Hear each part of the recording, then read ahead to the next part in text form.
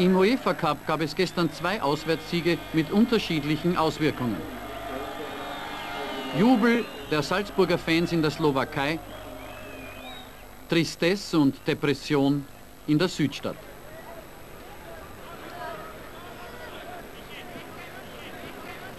Entscheidend in beiden Partien jeweils eine Elfmetersituation.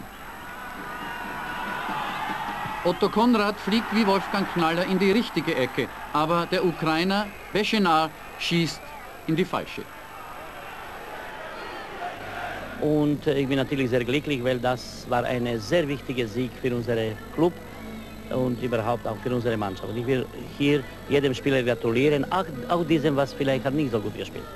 Naja, jeder Trainer ist enttäuscht, wenn er verliert, das ist ganz logisch dass wenn, wenn wir gewinnen, ist ganz, ganz klar, dass jeder Freude hat, inklusive der Spieler. Und jetzt muss er in die Kabine rein und muss sich trösten. Fast hätte Dietmar Konstantini seine Mannschaft nicht trösten müssen, denn der 1:1 Ausgleich durch Bacher knapp vor der Pause fällt zu einem günstigen Zeitpunkt. Doch nach dem Wechsel setzt sich das elastische Spiel der Ukrainer durch. Herrliche Konter wie hier, abgeschlossen durch Bachlebajew, folgen.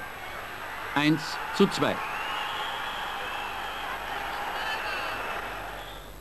Kurz darauf wieder ein Pass in den freien Raum und Michailenko vollendet. Sogar 1 zu 3. Das 2 zu 3 durch einen Kopfball von Roger Jung ist nur mehr Ergebniskosmetik. Baumitat Mirawaka scheidet gegen Dniepo Petrovsk aus. Anders Casino Salzburg. Weber setzt Stadler ideal ein, das ersehnte Auswärtstor gegen Dunajska Streda gleich zu Beginn.